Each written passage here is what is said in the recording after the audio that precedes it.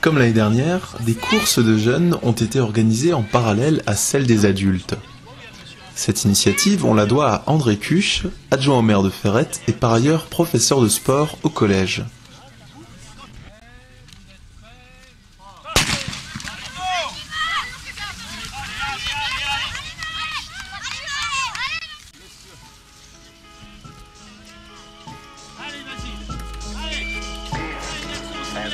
Vas-y. Allez. Allez,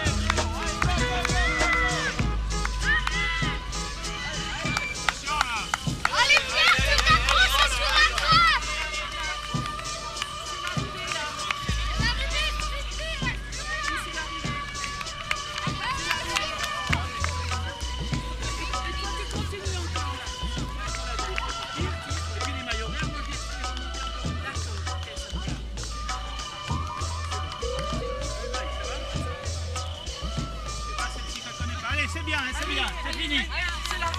Voilà, donc vous pouvez fermer là. Et comme pour les adultes, les jeunes ont eu droit à leur propre remise des prix. Alors, je vais commencer. Je vais commencer par la catégorie éveil athlétique. Euh, la catégorie filles. Alors, je vais appeler. Arrive à la troisième place. Je ne sais pas si elle est encore là. Sophie Kay. À la deuxième place, Camille Martin. Est-ce que Camille est là? Bien, Camille, on peut l'applaudir. Bravo, Camille. Viens par là, Camille. Viens par là. Tu te mets ici, s'il te plaît, tu restes là et tu reçois un joli t-shirt. Et c'est le plus petit. Et termine à la première place Clémence Gauthier. On peut l'applaudir. Bravo Clémence.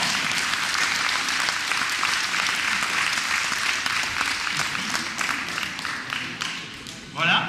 Pour les chez les garçons, arrive à la troisième place Munch Victorien. Munch Victorien, bravo Victorien. Est-ce qu'il est là, Victorien? Ensuite, Corentin Grabowski. Est-ce que Corentin est là? Bien, Corentin. Bravo. Et gagne dans la catégorie éveil athlétique masculin Bastien Deveau. Bravo, Bastien.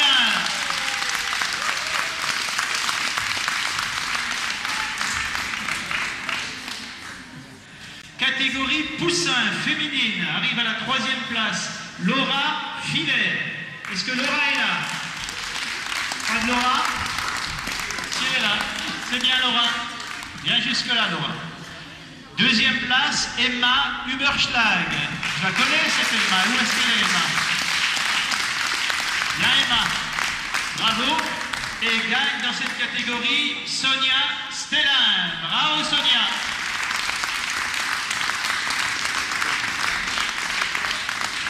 Chez les masculins, Poussin, troisième place.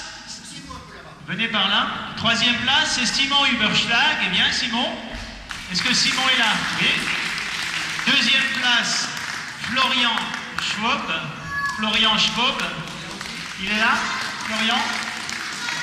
Et à la première place termine Xavier Devaux, que l'on peut applaudir. Bravo.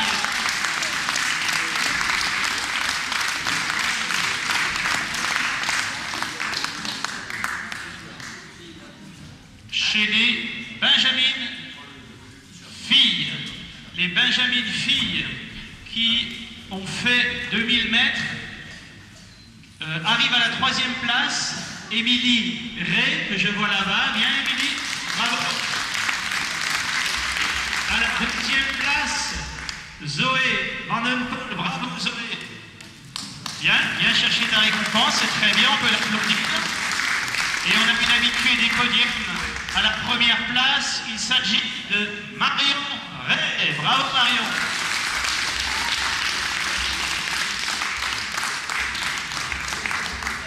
l'an dernier, m'a-t-il dit. Non On va aller rechercher quelques t-shirts pour récompenser ces coureurs. Alors Gauthier Jost arrive à la deuxième place. Antoine qui est à là. Est-ce que Antoine est là? Il est parti Antoine. On lui remettra un t-shirt, il doit être au collège. Et gagne, et je crois que c'était aussi le cas l'an dernier, Émilien Mangin. Bravo. Un beau succès populaire qui prouve qu'il n'y a pas d'âge pour courir et qui encouragera sans doute les organisateurs à poursuivre dans cette voie. On peut dire cette année qu'on a eu euh, de bonnes conditions, d'abord de bonnes conditions météorologiques. On a été inquiet puisqu'il euh, pleuvait pratiquement jusqu'à 8 heures ce matin. Ensuite, les conditions étaient excellentes. Et ce qui me fait particulièrement plaisir cette année, c'est que l'an dernier, comme je l'ai annoncé tout à l'heure au micro, nous avions une quarantaine de jeunes qui avaient participé, alors que cette année, ils étaient plus de 60. Donc ça nous motive bien évidemment pour réorganiser l'année prochaine les courses de jeunes ici à Ferrette. Les jeunes adeptes de course à pied s'affronteront prochainement lors des crosses scolaires et reviendront évidemment tenter leur chance aux courses de ferrette de l'an prochain.